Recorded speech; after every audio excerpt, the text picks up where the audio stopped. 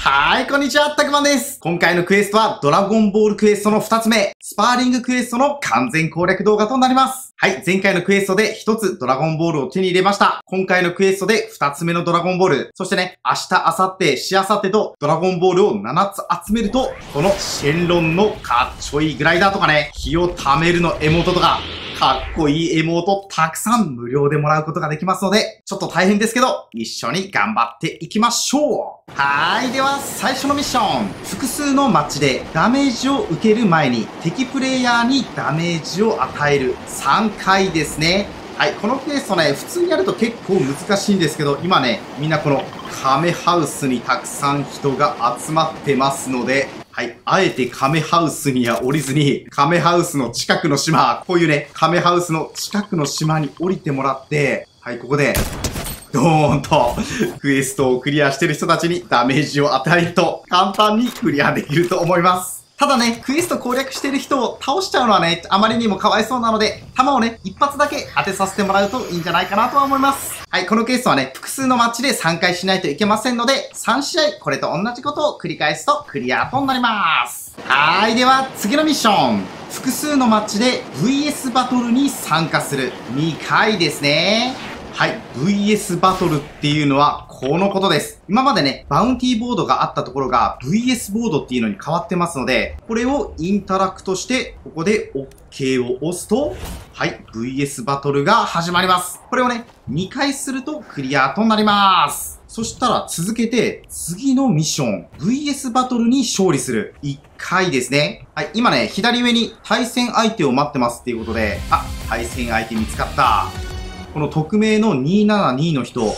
の人を倒すと、このクエストクリアになります。そしてこの VS ボードはね、今までバウンティーボードがあった場所と全く同じ場所にありますので、まあ、セブンのアウトポストに行くのが一番簡単じゃないかな。ここにあったか覚えてないですけど、こことか、こことかね、基本的にね、すべてのアウトポストにバウンティーボードがありますので、セブンアウトポストはね、敵も少ないし、結構やりやすいんじゃないかなと思います。さあ、ということで、自分のバウンティー相手、ここっすね。お、めっちゃ狭い範囲で現れるんだ。これは見つけやすいっすね。あら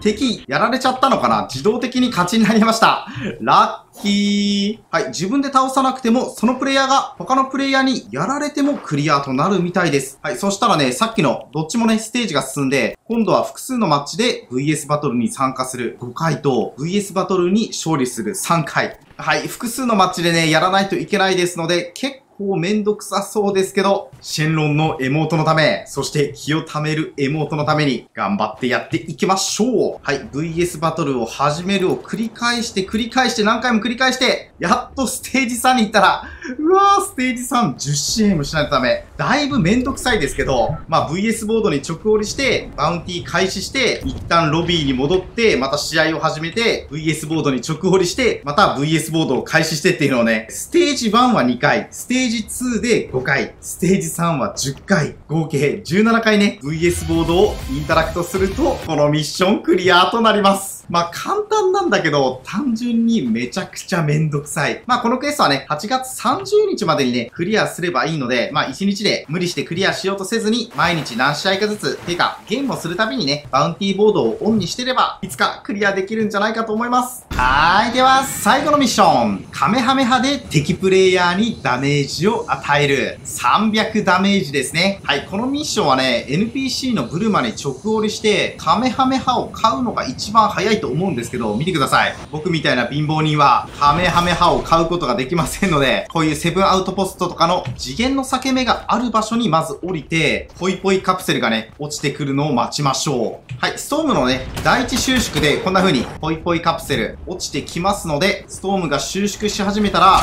裂け目に入ってもらって、はい、ポイポイカプセルを追いかけていきます。この辺かな？届くか？これ届かないな。ああ、だいぶ上に行ってる。あはは、そんなに上に行かないで。このベジータ様より先に行くとは。ははい、そしたらこんな風に次元の裂け目を使って、ポイポイカプセルを追いかけて、こいつを開けたら、元気玉と均等運が出てきますので、このね、カメハメハを使って敵にダメージを与えていきます。300ダメージ与えるの、ちょっと大変そうなんですけど、実はこのカメハメハ、とんでもなく強いので、心配ご無用です。敵を発見したらね、簡単に当てるコツとして、まず先に均等運を使います。そして、上空から、カメハメはあ、おらっしゃいこのコンボが強すぎる。敵発見です。敵を見つけたら、均等で飛んで、カメハメはあ 強すぎ、笑った。まあちょっとエイムがいい相手だったらね、上空で撃たれちゃうんですけど、まあそんなのお構いなしよ。カメハメハ強すぎる。ちょっとカメハメハね、強すぎてね、運営が叩かれるんじゃないかね。ちょっと心配するレベルで、カメハメハ鬼強いっすね。はい、ということで、カメハメハをね、集める手段としては、ここ、ここにいるね、ブルマからカメハメハを買うか、第一収縮の時にね、4つホイポイカプセルが落ちてきますので、その時にね、まあ、車、車に乗ったり、次元の裂け目を使って、そのホイポイカプセルが落ちてるところまで行って、えー、ホイポイカプセルを手に入れて、カメハメハを手に入れるか、あとね、この辺に置いてあるドラゴンボールの自販機からもね、カメハメハ買うことができますので、その辺でカメハメハを手に入れて、はい、敵にダメージを与えちゃってください。